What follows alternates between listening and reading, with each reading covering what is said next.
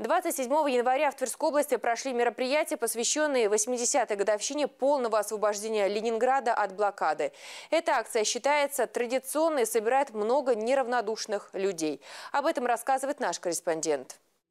На площади Победы в память о подвиге ленинградцев и советских воинов, освобождавших осажденный город, к обелиску были возложены цветы. На торжественной церемонии присутствовали представители власти, члены Тверской городской общественной организации, блокадники Ленинграда, молодежь, жители города.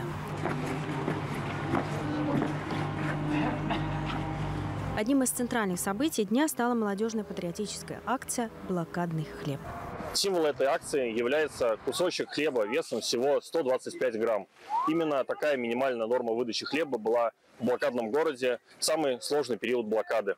Акция «Блокадный хлеб» традиционно объединила школьников, студентов, кадетов, военнослужащих, представителей общественных военно-патриотических организаций. Масштабное мероприятие состоялось во всех муниципалитетах Верхневолжья. В Твери одной из точек проведения стало пересечение улицы Трехсвятской с бульваром Радищева.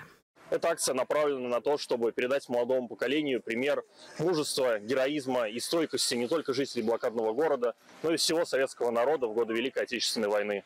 Напомним, что мероприятие проводится ежегодно с 2011 года. Это уникальный проект Тверской области, который в 2016 году получил грантовую поддержку на Всероссийском образовательном форуме «Территория смыслов».